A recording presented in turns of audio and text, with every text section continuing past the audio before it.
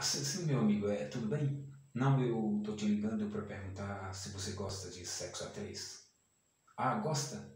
Ah, é porque eu estou aqui na tua casa, no teu banheiro, com a tua esposa e só falta tu. O cara virou macho.